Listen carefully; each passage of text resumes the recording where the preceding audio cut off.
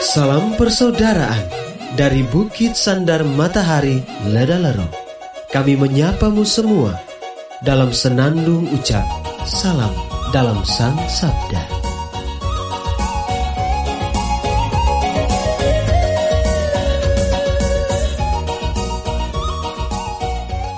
Bacaan Injil dan Renungan Hari ini edisi 28 April 2021 Rabu Hari biasa Pekan Pasca keempat Disusun oleh Frater Seles Botoor SVD dan dibawakan oleh Frater Crispin Lewa SVD. Selamat mendengarkan.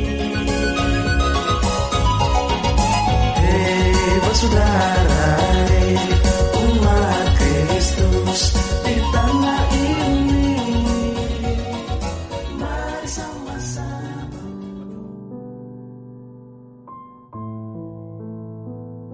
Bacaan diambil dari Injil Yohanes bab 12 ayat 44 sampai ayat 50. Sekali peristiwa, Yesus berseru di hadapan orang-orang Farisi yang percaya kepadanya. Barang siapa percaya kepadaku, ia percaya bukan kepadaku, tetapi kepada Dia yang telah mengutus aku. Dan barang siapa melihat aku, ia melihat Dia yang telah mengutus aku. Aku telah datang ke dalam dunia sebagai terang, supaya setiap orang yang percaya kepadaku jangan tinggal di dalam kegelapan. Dan jikalau seorang mendengar perkataanku tetapi tidak melakukannya, bukan aku yang menjadi hakimnya, sebab aku datang bukan untuk menghakimi dunia, melainkan untuk menyelamatkannya. Barang siapa menolak aku dan tidak menerima perkataanku, ia sudah ada hakimnya, yaitu firman yang telah kukatakan. Itulah yang akan menjadi hakimnya pada akhir zaman. Sebab bukan dari diriku sendiri aku berkata-kata, tetapi Bapa yang mengutus aku, dialah yang memerintahkan aku untuk mengatakan apa yang harus aku katakan dan aku sampaikan. Dan aku tahu bahwa perintahnya itu adalah hidup yang kekal.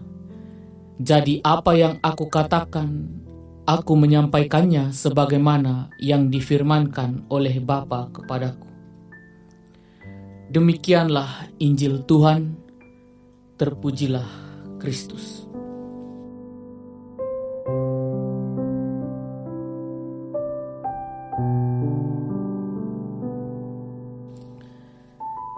Bapak, Ibu, saudara-saudari, pencinta Sang Sabda yang terkasih dalam Tuhan.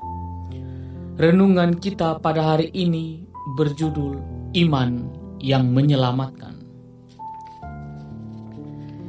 Kita mengenal iman akan Tritunggal Maha Kudus sejak kita masih kecil. Kita meyakini bahwa iman akan Allah Tritunggal yang Maha Kudus sungguh bekerja dalam seluruh perjalanan hidup kita.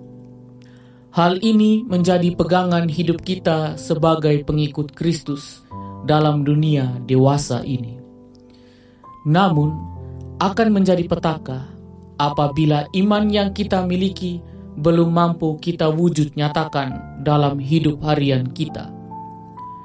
Kita acap kali masih ragu dengan iman yang kita miliki dan selalu mempertanyakan iman yang kita yakini dengan sebuah keraguan. Dalam bacaan Injil hari ini, penginjil Yohanes kembali menegaskan dan mengingatkan kita sebagai pengikut Kristus akan pentingnya beriman yang benar dalam mengikuti Kristus tersebut. Beriman yang benar itu dapat kita wujudkan dengan meyakini segala sabda yang diberikan oleh Tuhan sendiri sebagai sebuah kebenaran. Dengan kata lain, dapat kita katakan bahwa beriman kepada Kristus berarti meyakini Dia yang mengutus Kristus tersebut. Dalam hidup harian kita, kita mesti menyatakan iman tersebut bukan hanya lewat kata-kata, melainkan lewat tindakan yang kita lakukan. Lebih jauh lagi, Kristus menegaskan kepada kita akan pentingnya iman yang menyelamatkan. Iman yang menyelamatkan tersebut mampu menuntun kita kepada kehidupan kekal itu sendiri. Hal ini menuntut adanya persesuaian antara kata dan perbuatan itu sendiri, di mana bahwa iman yang militan adalah iman yang bukan hanya percaya akan pewartaan Kristus, melainkan mempraktikkan iman tersebut dalam hidup hariannya. Dengan demikian, mari kita melihat diri. Sudah sejauh mana saya sebagai pengikut Kristus telah mempraktikkan iman yang saya miliki dalam hidup harian saya?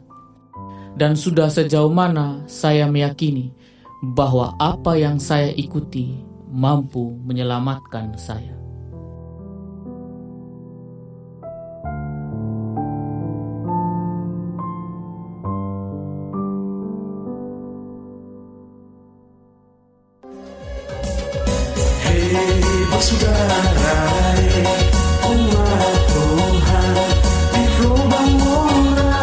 Sahabat-sahabat pencinta Sang Sabda, kita baru saja mendengar bacaan Injil dan renungan edisi hari ini. Sampai jumpa kembali pada edisi berikut. Terima kasih kepada Divisi Kerohanian website Seminari Tinggi Santo Paulus Ledalero.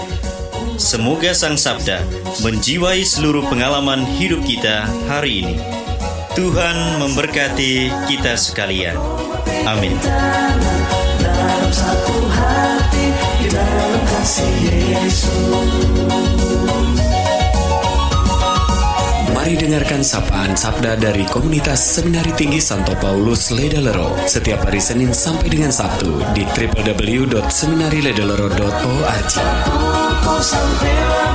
bajo, subat tunggu bagus.